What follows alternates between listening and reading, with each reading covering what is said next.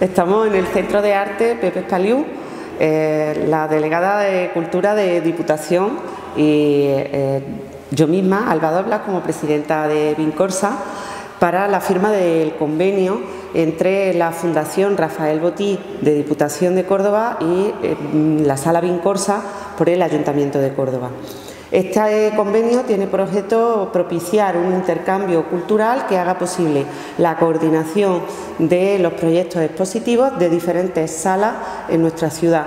Y queremos que sea un ámbito de colaboración que propicie la participación de la ciudadanía en esos proyectos culturales, así como eh, una mayor eh, variedad de eventos que puedan utilizar eh, distintos espacios y no se vean coartados por las necesidades que puedan plantear. Eso teniendo en cuenta que cada una de las salas expositivas que ponemos en el convenio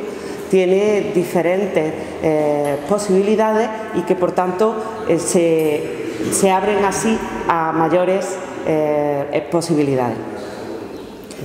Bueno, desde la Fundación de Artes Plásticas y desde la Delegación de Cultura entendíamos que era fundamental bueno, que mejorase la comunicación y las relaciones que existen entre la Diputación y el Ayuntamiento de Córdoba en materia de expositiva, especialmente bueno, pues como apoyo al programa de artes plásticas y también como un apoyo a la creación y a los creadores en Córdoba. Eh, sin duda, Vincorsa eh, dispone de una de las salas expositivas mejores de, esta provincia y el hecho de que bueno, nos podamos ver beneficiados las dos instituciones del uso de esa sala, tanto nosotros de esa sala como de ellos del Centro de Arte Rafael Botí, creo que nos va a beneficiar a todos. Y además